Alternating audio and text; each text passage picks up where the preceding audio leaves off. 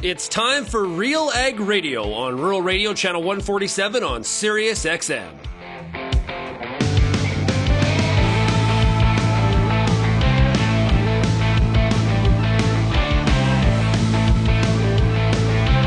Real Radio and RealAgriculture.com is your home for insight and analysis of the issues that are impacting your farm business.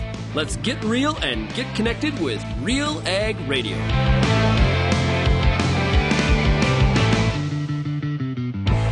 Welcome to Real Ag Radio here on Rural Radio 147, a Sirius XM. Shaun Haney, your host here on this Tuesday edition of the show. Hey, thanks so much, everybody, for making Real Ag Radio and, of course, Rural Radio 147 a big part of your workday. Also, a big shout out to everybody listening out there on the Real Ag Radio podcast.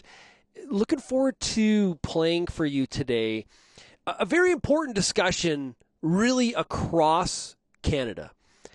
And, and, and quite frankly, you know what? Honestly, this also applies to the U.S. as well.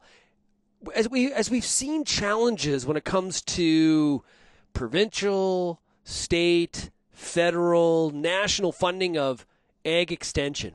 There was a way that ag extension happened, probably in our, our grandparents' time, our parents' time. It, it's really changing. And it, the internet is, is like a, a thing that exists now, clearly, that wasn't around 25 years ago from an, as an extension tool. That's just one example, but we have to ask ourselves, and I, I, this is in this conversation, this question is being discussed in in all jurisdictions.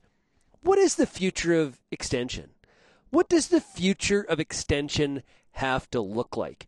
And that's what today's episode of Real Ag Radio is all about.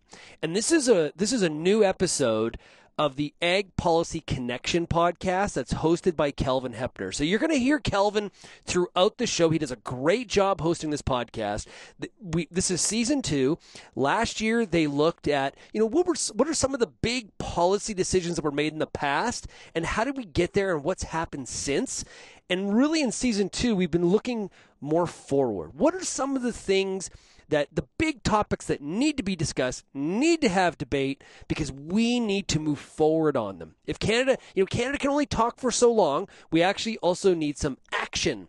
And that's a big part of what the Ag Policy Connection podcast does. And it is also brought to you by, in partnership with CAPI. You often hear Tyler McCann, the managing director of CAPI, on this show on the Friday issues panel. Uh, really, CAPI is a great partner on this podcast. And like I said, Kelvin does a great job hosting it. So we're going to talk all about the future of extension today. Now, if you have any feedback on this topic, we'd love to hear from you. We want your perspectives as well. That's an important component of this. I don't care if you're in Canada or in the U.S., let's talk about this topic because it's critical for farmers and ranchers across North America, okay? So your, your examples you're going to hear today are Canadian, but it applies to everybody. So if you have any feedback, you can send me an email, shaney at realagriculture.com. Or, of course, you can find Real Agriculture across all the social media platforms. You're also more than welcome to call the Real Ag Feedback Line, 855 776 6147. Let's take a break. And when we come back, we're going to get started. We're going to hear the Ag Policy Connection podcast with Kelvin Heppner, brought to you by CAPI. We're talking about the future of ag extension. We'll get to it when we come back right after this.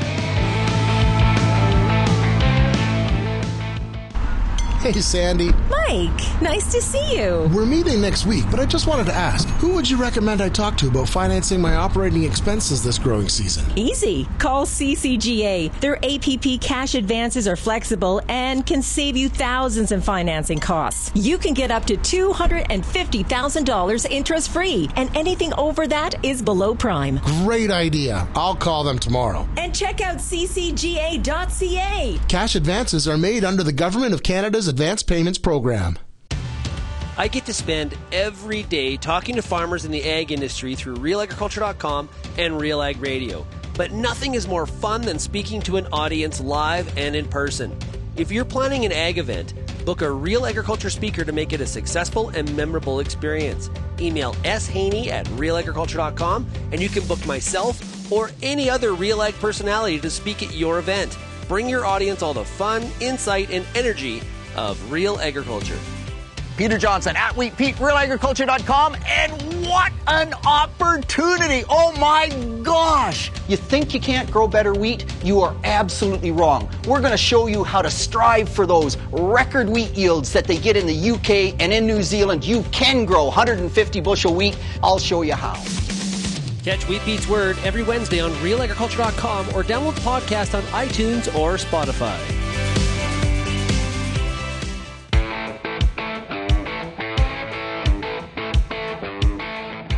As I mentioned, we are focusing today on the future of ag extension. This segment's brought to you by Viatude. The new fungicide for canola and soybeans get best in class protection from two of the strongest sclerotinia and white mold actives on the market. I'm going to pass it over to Kelvin Heppner to introduce our panel talking about the future of ag extension. On this episode of the Ag Policy Connection, we're focusing on uh, the future of extension and knowledge transfer in agriculture. And we're pleased to welcome our uh, three panelists. We have uh, Ataharul Chowdhury of uh, the University of Guelph, Joy Agnew at Olds College, and Jake Leguee, farmer based in Saskatchewan and a director with Sask Wheat. Thank you, all three of you, for uh, taking time from your busy schedules to uh, join us here on the Ag Policy Connection.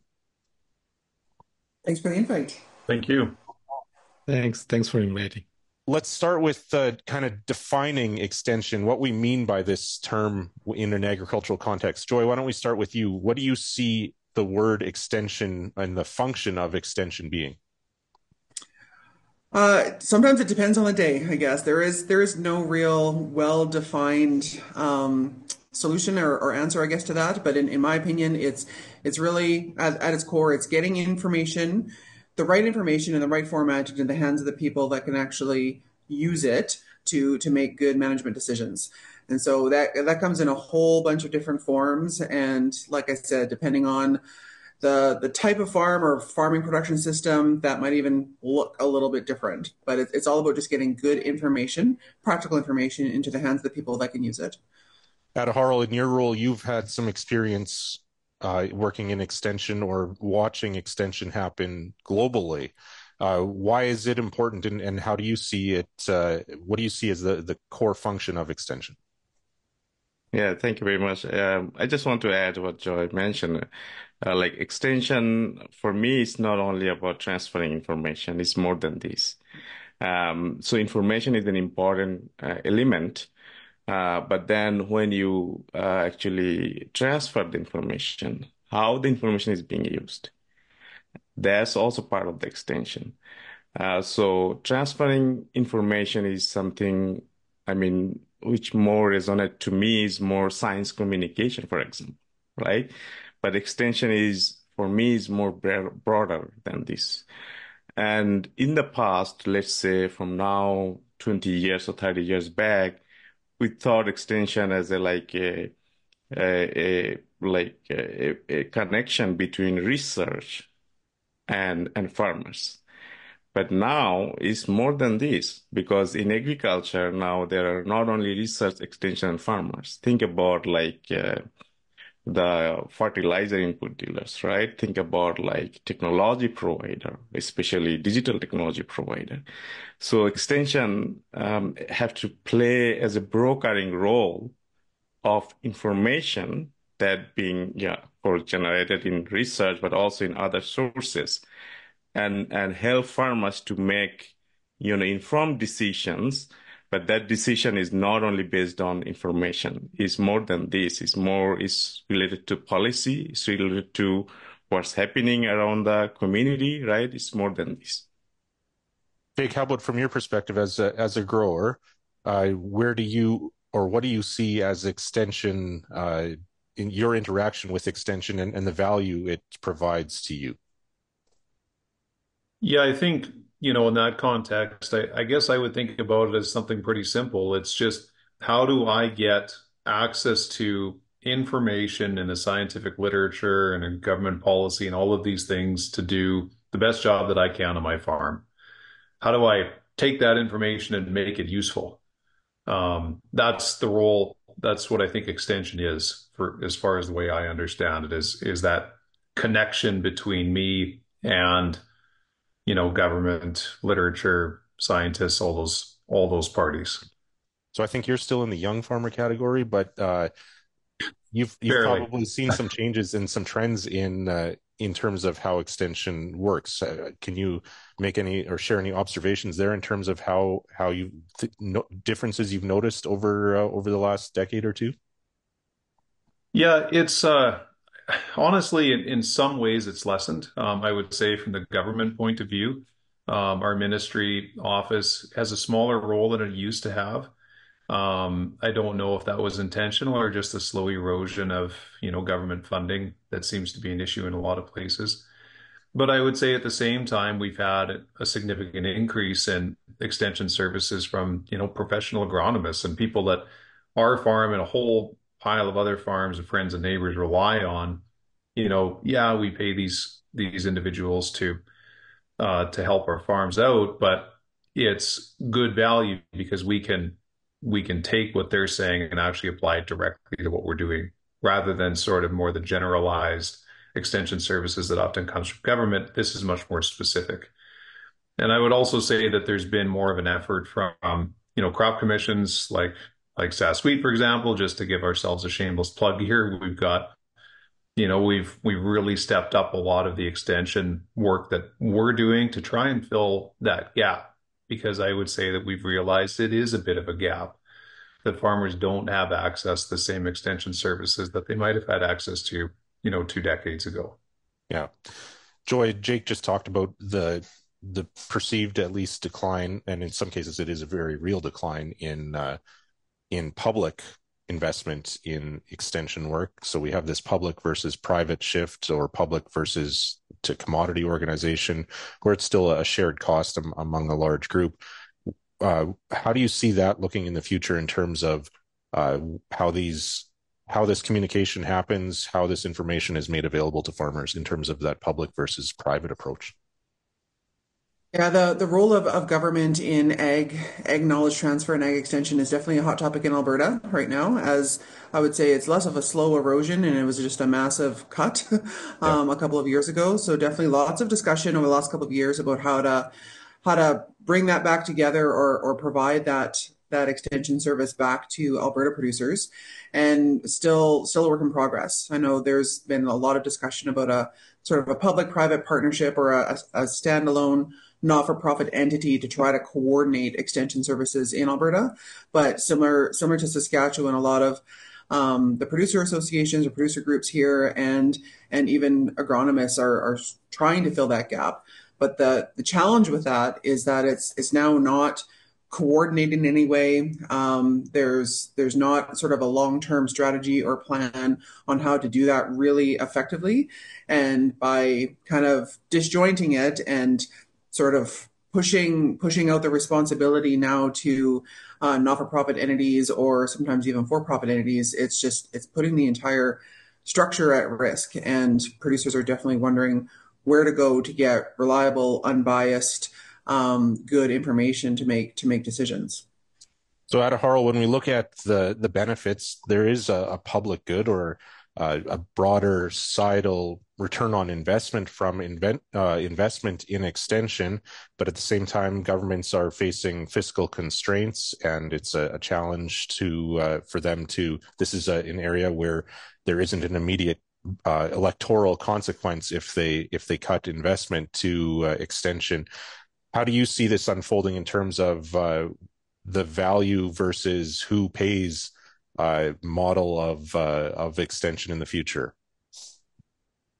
Yeah, I think extension um, is still uh, is very relevant for public sector investment. Um, uh, unfortunately, I mean, um, I, I take the uh, you know blame like for probably you know it's it's easy to take blame on us like as a scholarly community we probably didn't do much um, and extension in in Canada across Canada like especially extension education has died out right? And in um, whole Canada only University of Guelph provide a graduate degree which we call capacity development extension.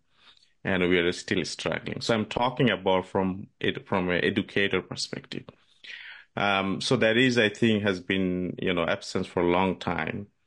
And then, you know, when uh, education is there and those we, we produce like, or we create new generation of professionals, they work in different sector, right? They, they also influence policy, right? And so that's not happening, right? Um, I, I am hearing about Alberta is same in Ontario too. There is, you know, uh, less support for public uh, uh, funding for extension. But um, I think to me, like we are probably not going to like 20 years back in Canada when we enjoyed, you know, uh, public sector extension. But I think it's important for everyone, for farmers, for educators, for you know advisors, right? Um, to actually advocate for that support and and so that government actually can you know be serious about that and and and make more public private partnership so i'm saying like private sector is still important but i think public sector is is has to play a role especially as joy mentioned about like when you when you consider about unbiased information. And that's another challenge we are also looking at in in, in our in my research about uh, agri-food misinformation because information is now intentional.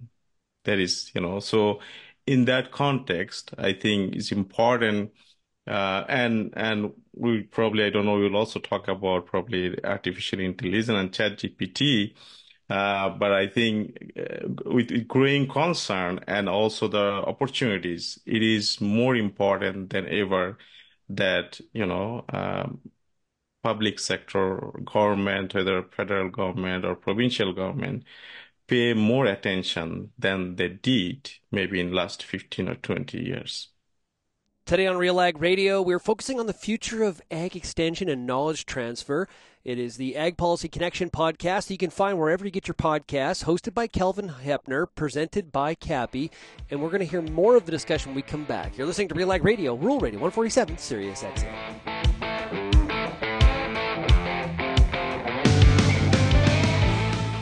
Join us for the Canadian Beef Industry Conference August 19th to 22nd in Saskatoon, Saskatchewan.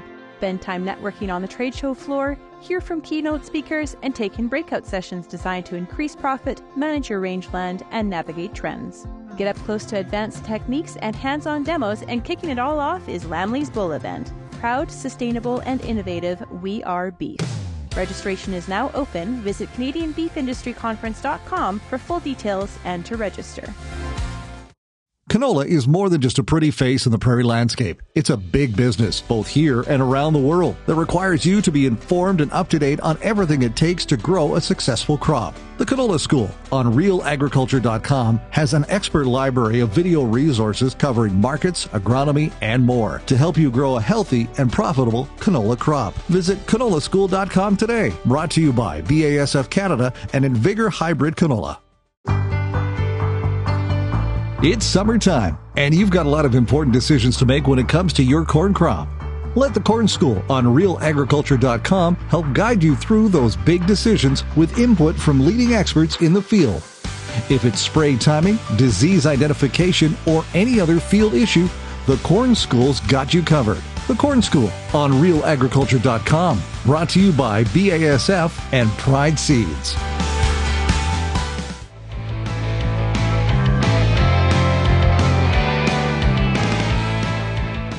Ag Radio, we are focused on the future of ag extension and knowledge transfer in our industry.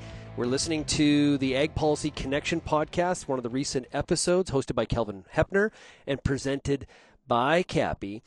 You know, you deal with many uncertainties on your farm. Managing risk should not be one of them. MNP's ag team specializes in risk management. Visit mnp.ca to learn how you can stay ahead of the game and plan for the unknown. Passing it back to Kelvin Heppner. Jake, why why does this matter though? Farmers' bottom lines are are doing okay in many cases, despite governments not investing in in extension, and uh, often there's been criticism of public publicly funded extension uh, resources not always being the most current or or the latest, like often maybe a little bit behind in terms of research or or researching things that many farmers have already adopted. Those types of criticisms are are sometimes shared does do we need to return to the extension model of 20 years ago when there was an ag rep or a extension person in in every region of the province? Or or uh, can we shift to more of a private funded model? Or or or uh, what what do you see in terms of providing the most value to your farm uh, in uh, going in the next five ten years? Well you've raised some important points there Kelvin in that you know, farming has changed a great deal. And, you know, we have access information that farmers never had access to 15, 20 years ago. Um, I think we have huge reliability problems, especially when it comes to something like AI. Um, you know, I guess just ahead of the meeting here, I asked ChatGPT, you know, what would be a, a good way to uh, run a fertilizer program for durum wheat in the brown, dark brown soil zone in southeast Saskatchewan? And one of its uh, suggestions was to uh, band and incorporate phosphorus and potassium ahead of seeding, which wouldn't exactly be a great practice. but, you know, it'll hallucinate answers that, you know, to questions that it doesn't have information for. Now, services like this are the worst they're ever going to be. They're going to get better. But for the next while, we have a serious reliability problem with with something like that. And I would also say that, you know, as a farmer, it is very difficult to try to, you know, sort through the volume of information available online today. It's very difficult to find things that are actually applicable to my farm.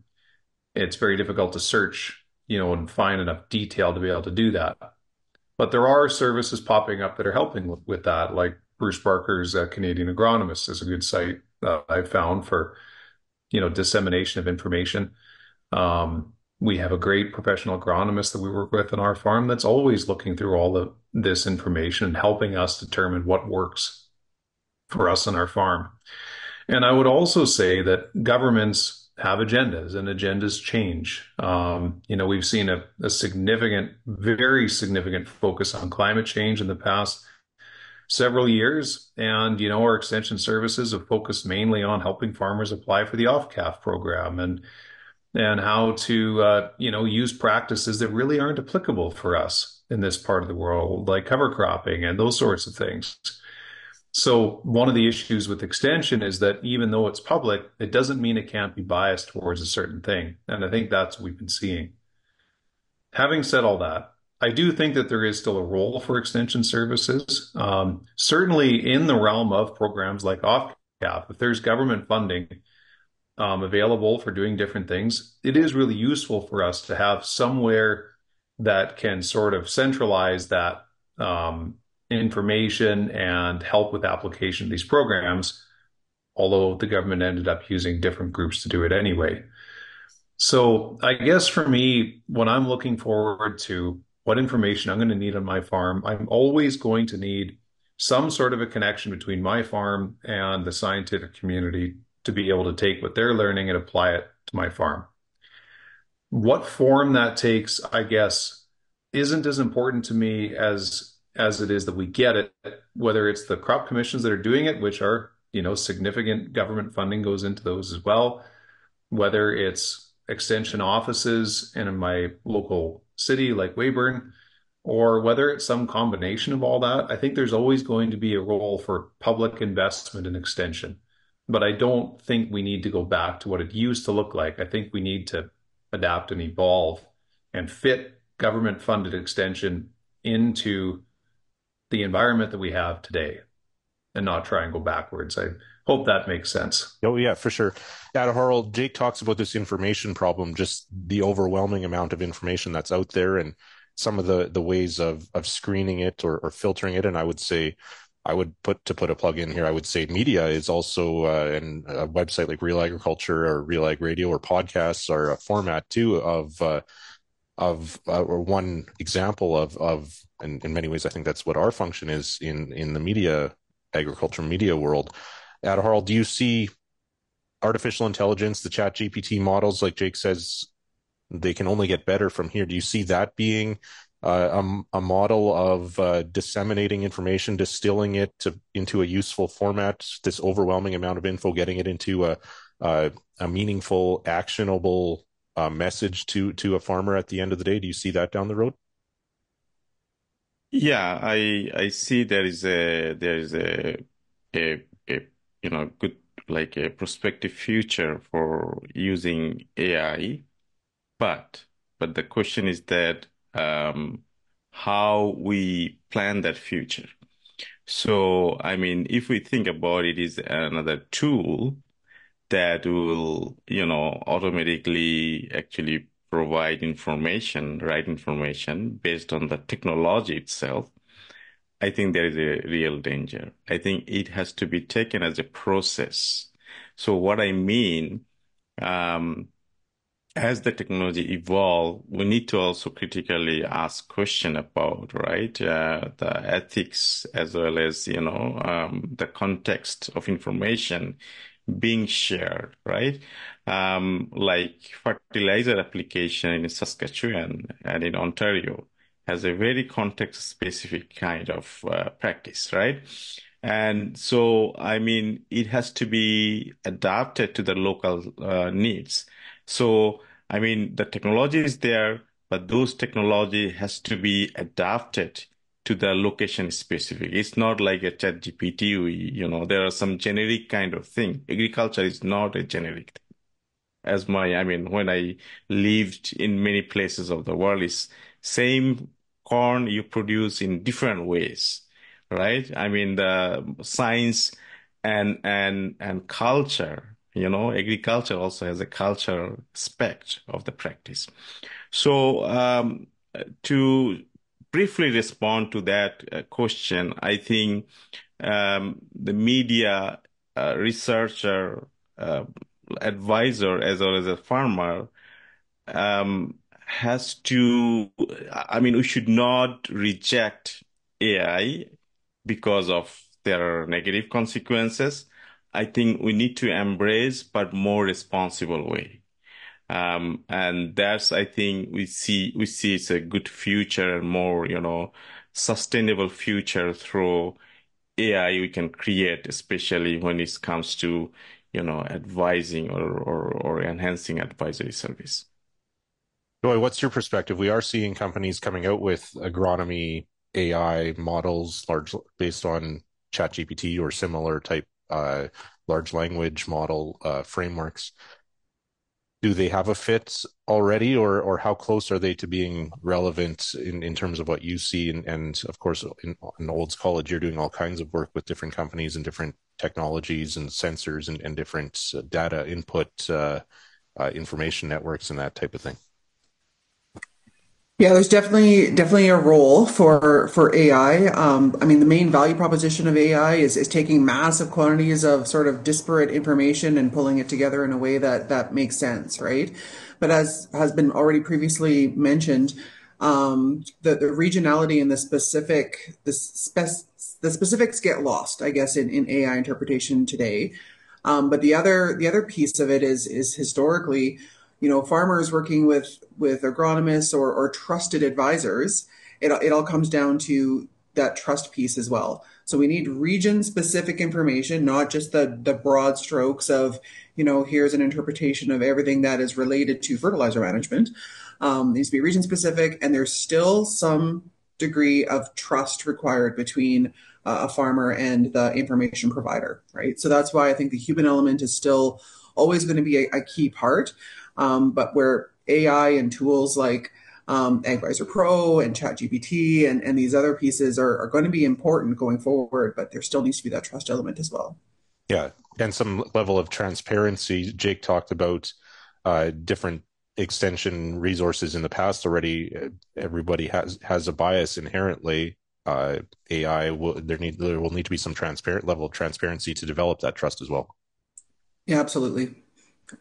You're listening to the most recent episode of the Ag Policy Connection podcast presented by CAPI, hosted by Kelvin Heppner of Real Agriculture. A great discussion on the future of ag extension and knowledge transfer. We're going to have more of this discussion when we come back. You're listening to Real Ag Radio, Rural Radio 147, Sirius XM.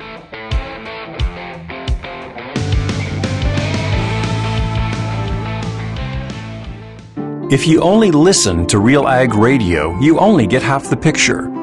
For greater insight into the issues that affect farming, Tune in to realagriculture.com. Crops, livestock, machinery, farm management, and the markets, even food and travel. Real Agriculture Online digs deeper into the topics that affect the way you work and live. So get connected today. Read, watch, and listen to the people who know at realagriculture.com. Choose Viatude fungicide and unleash best-in-class sclerotinia protection in canola and premium protection against white mold in soybeans. Viatude contains a powerful premix of Onmira Active and prothioconazole. This unique combo delivers high-performance disease control, crop safety, mix compatibility, resistance management, and advanced mobility for excellent coverage and superior plant protection. Choose Viatude fungicide for stronger, more vigorous crops.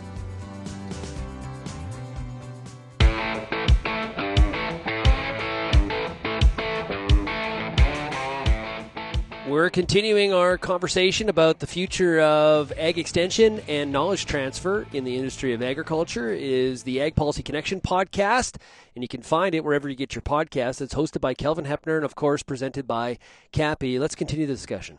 So, do you see a place? One, so this is I'm going to use an example here in in uh, media and journalism. I think a lot of media companies are are wrestling with what AI is going to mean for their business, and I I'm convinced that in the future, new information, AI won't be great. There will, you'll still have value placed on new information and new findings and new, and new research. And do you see the same in agriculture when it comes to the role of AI? You're still going to need that original primary data to be developed somewhere. AI likely isn't going to be coming up with that. Do you, is, is that a fair, uh, fair comment, Joy? Absolutely. That's why I, feel like ag research is is such an exciting place to be because it's never going to we're never going to answer all the questions or we're not going to have all the answers to all the questions that the ag sector has. So there's always going to be a need to generate new information and generate new new new findings and new results for the various engines, whether it's artificial intelligence or or otherwise, to combine that and compile that in a way that again can be used for used by producers to make good management decisions to improve overall productivity and sustainability. Yeah, and, and we're talking about these AI models as if they are futuristic or, or like just cutting edge right now. But Google, Jake, I'm sure you've Googled, uh, searched for information in the past and, and come up with extension resources via a search engine in the last 10, 15 years. Yeah, I mean, the technology is changing incredibly quickly, but the specificity is still a huge issue, as Ataharul mentioned. I mean, I can I can Google anything that I want, and I can come up with stuff that's from the United States, from Africa, from India, and somewhere maybe after you click more results 20 times, maybe you get an article from Saskatchewan. You know, it's it's really difficult to actually be able to delve in and find information. You know, just as a farmer, like just trying to find basic information online is actually really difficult. And I would say it's becoming more difficult. The search engines don't seem to be, they seem to be optimizing the wrong direction, I guess, for us to be able to find specific information that works for us. So yeah, I mean, I, you know, like, like you mentioned earlier, sites like Real Agriculture and others like that are helpful because they, it's somewhere you can go rather than having to just do a direct search. Um, so there is a there is a huge value and an important uh, part that sites like that play. We need Canadian-based sites like Real Ag and, and others like it to be able to provide that more of a central hub of information. Yeah. Ataharul, when you look around the world, uh, in terms of the the future of knowledge transfer and extension, and and uh, having farmers understand why maybe changes need to be made in, in practices or how that could improve their, their bottom lines. What do you see as uh, as the future uh, of of this topic? Are there certain models that you see being more successful and, and that you see us moving towards here in Canada as well, based on what you what you've seen in other countries?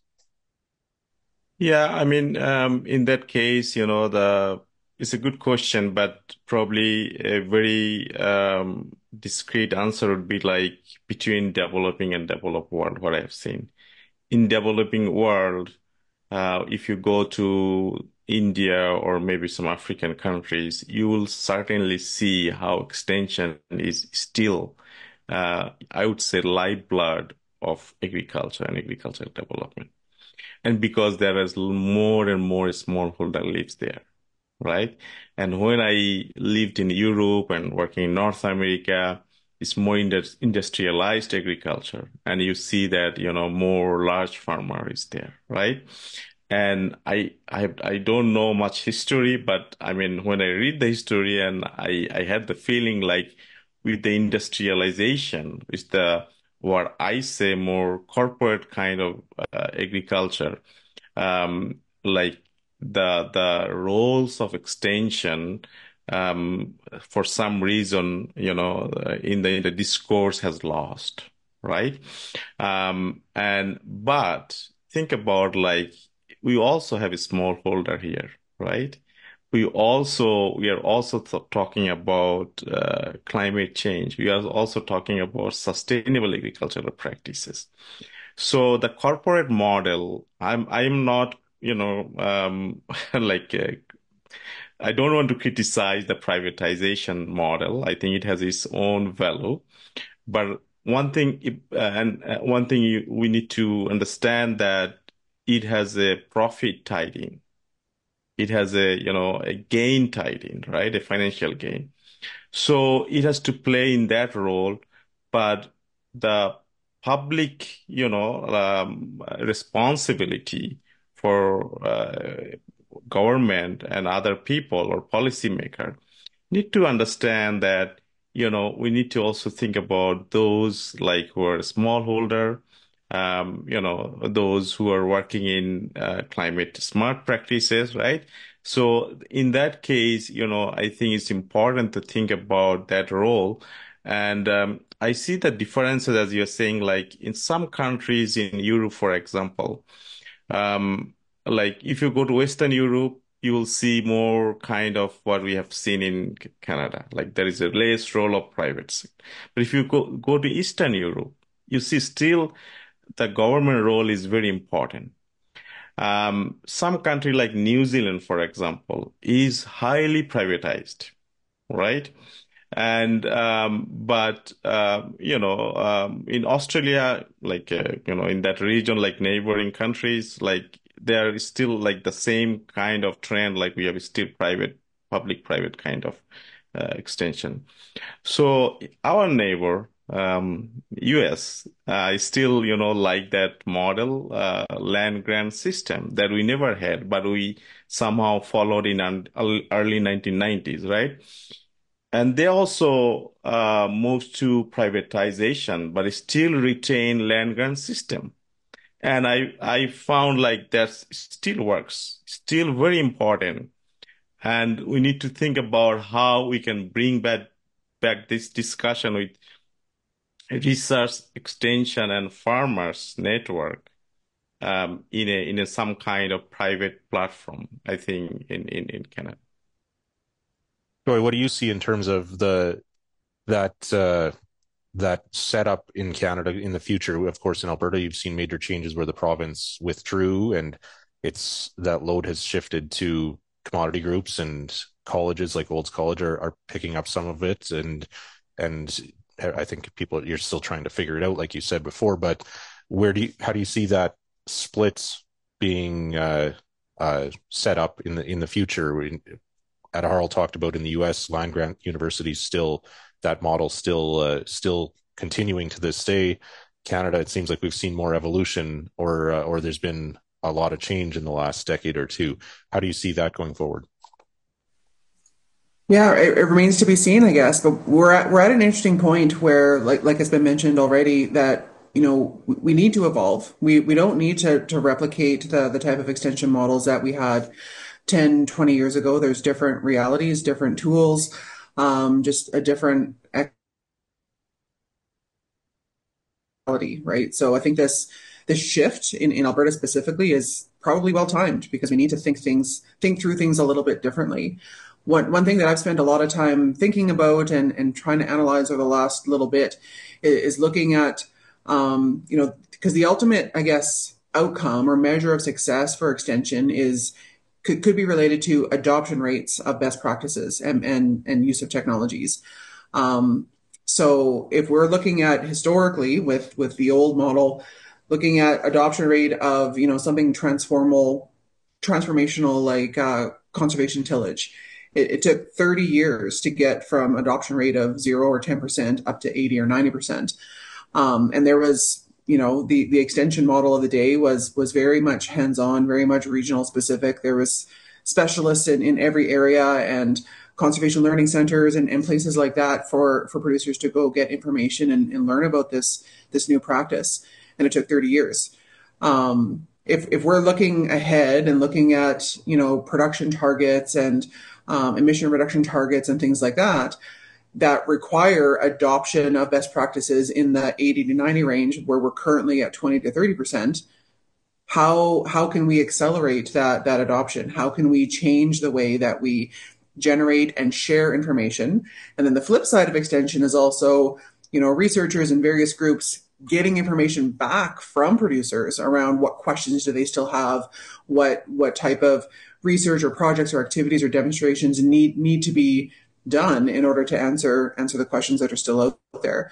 So how how can we change that entire reality to try to accelerate adoption and try to accelerate improving productivity and, and sustainability. So we don't know what it's going to look like. Like I said, there's there's a lot of discussion happening in Alberta, and every every region, every province seems to do it a little bit differently. So there's lots of interesting models to look at to say, hey, what what do we need here in Alberta? Um, but it's it's probably well timed, and um, we can really change the way that extension is done, ho- hopefully for the better, and really help producers best maximize the value of that information. It, yeah, it is probably an ever changing process. It's something that we're probably going to be continually evaluating what works best as technology changes, as information uh, ways of communicating change and, and all of that.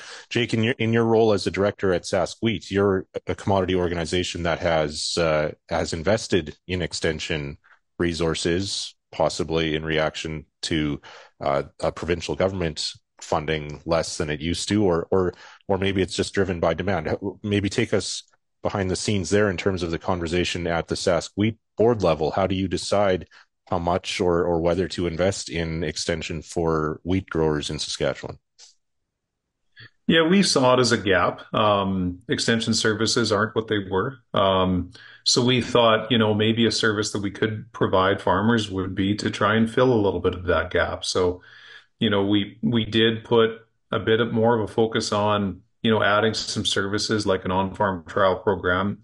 There's thousands of products out there and practices that farmers can try each and every year. And it's so difficult for us to figure out what to even look at, what to even consider doing a test on in our own farms. At least with a program like this, and the other commissions are doing it too, you can compile replicated data from farms, you know, spread out across the province and hopefully get a much faster turnaround on whether a product or practice works. Um, and we've also tried to target farmers where they are, um, you know, podcasts, um, doing very informal type meetings or coffee shop talks, those sorts of things where we're not doing a bunch of big presentations, just just chatting with farmers. I mentioned earlier at the beginning that extension is a connection with between farmers and researchers and policy and all of that. That means it goes both ways. I think Joy raised a good point. Farmers are often ahead of the research committee community on things that they're trying, things that they're experimenting with. And I think it's important sometimes for the research and government community to recognize that. And sometimes farmers are the innovators. And, you know, sometimes they might be trying something that sounds a little strange, but 20 years down the road, you know, sometimes it it takes things over. I mean, it was early adopters that first tried no-till. That's where it first came from. So I think we just have to make sure that we're, you know, as an extension community, you're meeting farmers where they are, um, and not trying to force, you know, a certain way of presenting information, you know, towards them. Is giving them information in a way that they can use it, which often means mobile. Um, it doesn't mean going into a government office. It doesn't mean going into town hall meetings. It means that while I'm sitting in the sprayer or the air drill or driving my truck down the highway, I can access information that's relevant to me and that's understandable to me. So that's something that at that we've tried to do. Um, and I, I think that, that, the extension, you know, network would benefit from from looking at a lot of those things. And I think that is happening. Um, but uh, that's kind of where I see it, I guess, when I put my farmer hat on it. I need accessible information that meets me where I am. When we come back, we're going to finish up the discussion on the future of ag extension and knowledge transfer in the industry of agriculture. You're listening to Real Ag Radio, of course, on Rural Radio 147, Sirius XM.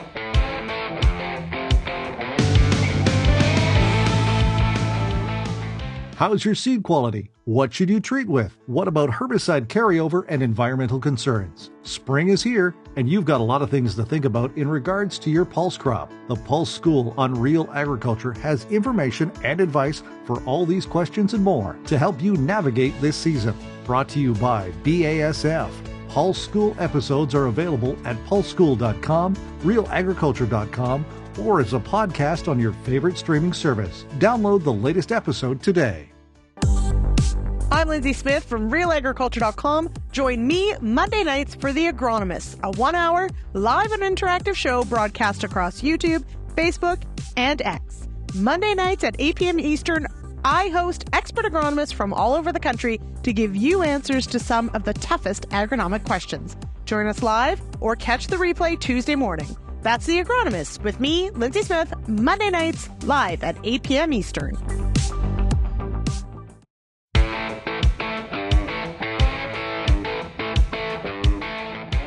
We've been listening to an excerpt from the Ag Policy Connection podcast hosted by Kelvin Heppner and presented by CAPI.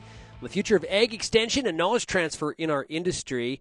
Let's finish up. I think part of that accessibility too, and this is maybe one of the final themes we'll we'll discuss here, is communication skills uh, of from in this in the science community and in the research community. I, when you look at successful examples of extension, I often I find, at least for to me, individuals, personalities come to mind, individual people that were a force for a certain something that they were passionate about and and they communicated it well. Ataharul, is that something that in the academic community you see uh, there being a need for more emphasis on communication skills and having that ability to take that first step of of converting research and distilling it into a, message that resonates with the intended audience? Yeah, Kelvin is a nice question. I have to say, like, you know, as a researcher, we are the communicators. and uh, I think we need more and more skills and, and tools and, and and, and techniques to to to become you know better communicator and I would say effective communicator. Um, if time allows, I'd like to also respond a few things about what Jake and Joy mentioned. Sure, um, go ahead. And uh, one thing is, I really appreciate your your idea of Jake about farmers' innovation. And I was just thinking about like you know the way we think about research extension knowledge, is like top down. I mean, it's not, it should not be a top down. I mean, farmers has a lot of innovation and, and because farmers use the research and adapt it, right? And in extension is, has an important role to advocate that innovation. It's not a researcher, right? Um, and for the impact assessment, um, I think what Joy mentioned is very important. Uh, adoption is a very important component, but typically we think about extension as a return on investment. And there is one, if you do a study, I know one study shows that extension, based on 20 observation, extension actually gives 70 uh, like percent of you know return of investment in you know when comparing with with other research. So it's based on the probably adoption, but extension plays a huge role in terms of community development, in terms of what is information Lord Jack is talking about. You know, there's so much information and how I can make informed decision, right?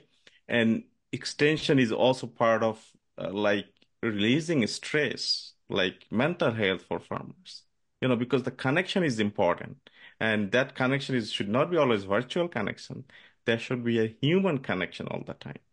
So when I what I wanted to say here that there is a technical aspect of thinking about impact assessment for extension, that is adoption is always or economic return, but also there is a functional and social aspect of extension, which is always get you know unrecognized and I think it ha- it has a lot of value. And if you really, I don't know if there is any formula, if you can calculate in terms of you know monetary value, you will see extension has even more value on that aspect.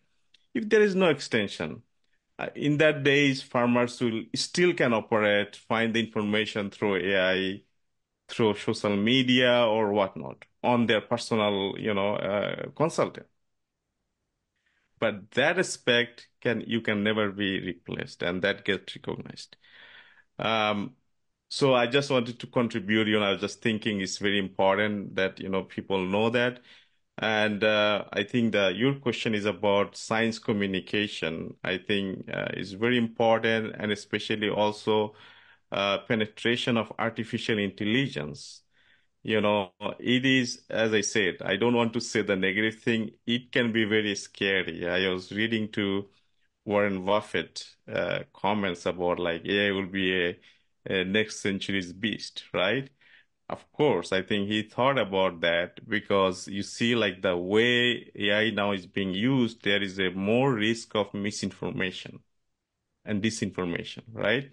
So as I mean, for as a as a science communicator, as a researcher, if researcher doesn't understand how this tool being used and how tool can be used responsibly, I think um, that there is a real danger in terms of even science communication. So in the past, it was important, but in the future or present, I think it's even more important for us to understand tools, understand the the style, the values, you know, of, of communicating information to the intended audience. Yeah, for sure. Joy, do you have thoughts on this?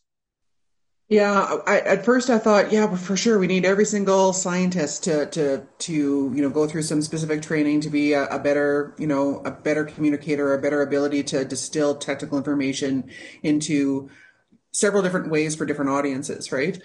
Um, but but when I thought about it a little bit more, I realized it, it's, it's a pretty special skill, I guess. And, and like you said, there right now there's there's definitely you know couple dozen gems in in Western Canada right now, anyway, of, of people that just have a passion and have the ability to distill really complex information into a way that can be um, tangible and practical for farmers or even for policymakers or for other government officials in, in different ways, right?